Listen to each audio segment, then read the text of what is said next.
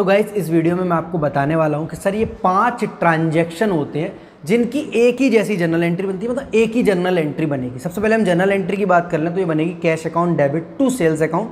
transaction किस किस तरीके से हो सकते हैं? आपके पास वो ट्रांजेक्शन दे सकता है गुड्स सोल्ड अगर आपको गुड्स सोल्ड की एंट्री पास करनी है तो आप यही करेंगे cash account debit to sales account point number two cash sales आपको पता होना चाहिए कैश कभी नहीं बिकता, जो बिक रहा है वो सामान बिक रहा है, और वो कैश में बिक रहा है तो उसकी भी सेम एंट्री होगी cash account debit to sales account. Next है आपका गुड्स सोल्ड इन कैश मतलब गुड्स जो बिके हैं, जो सामान बिका है, वो कैश में बिका है। नेक्स्ट आपका ट्रांजेक्शन हो सकता है goods sold to Anil in cash चाहे वो अनिल को बिके चाहे सुनील को बिके, अगर वो कैश में बिक रहा है तो उसकी भी सेम जनरल एंट्री होगी cash account debit to sales account. और लास्ट आपकी जो ट्रांजेक्शन है that is goods purchase from us अगर कोई हमसे सामान खरीद कर जा रहा है दैट मीन्स हमने वो सामान बेचा है और उसकी भी जर्नल एंट्री बनेगी cash account debit to sales account video अच्छी लगी हो तो लाइक का बटन ज़रूर दबाना, दोस्तों के साथ शेयर करना चैनल को कर लेना सब्सक्राइब जिन बच्चों ने अब तक genius of commerce app download नहीं किया डाउनलोड ज़रूर कर लें। वहाँ पर ऐसी बहुत सारी अमेजिंग वीडियोज़ हैं और संडे को हर संडे टेस्ट सीरीज़ कंडक्ट कराई जाती है for class eleventh and twelfth